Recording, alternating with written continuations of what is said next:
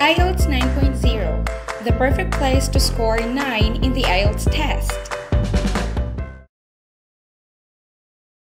Chương trình IELTS 9.0 Tài liệu từ Đại học Cambridge được thiết kế theo mô đun độc lập với mục tiêu 9.0.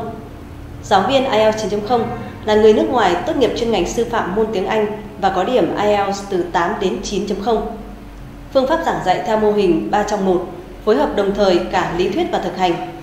Mô hình lectures, bài giảng, học đầy đủ các kỹ năng nghe, nói, đọc, viết, từ vựng ngữ pháp. Mô hình coaching 11, thực hành một thầy một trò kỹ năng nói và viết. Đây là hai kỹ năng học sinh Việt Nam sợ nhất vì có ít điều kiện thực hành. Bạn sẽ có phản xạ và khắc phục ngay được điểm yếu.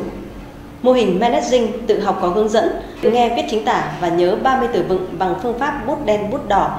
Bạn sẽ phải thuộc bài mới ra khỏi lớp.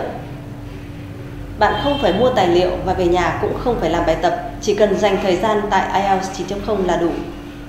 Quản lý chất lượng bạn sẽ được cấp thẻ checking card, thẻ theo dõi học tập có in sẵn chương trình học. Hàng ngày giáo viên ký vào bài học và chấm điểm bài học đó, báo cáo gửi học viên và phụ huynh hàng tuần.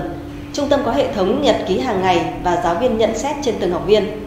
Thi thử như thi thật hàng tuần, đánh giá sự tiến bộ của học viên trong tuần để rèn tinh thần thép trước các kỳ thi chính thức và cũng để tiết kiệm chi phí đo trình độ của mình trước khi đăng ký thi chính thức.